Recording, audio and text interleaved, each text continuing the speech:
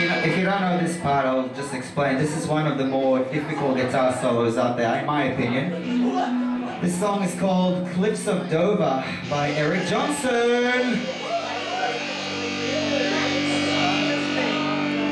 Alright, so quick show of hands. Who actually plays Guitar Hero 3? You're damn right you do. Yeah, so you guys will know this song. Well, they'll definitely know this song, Josh.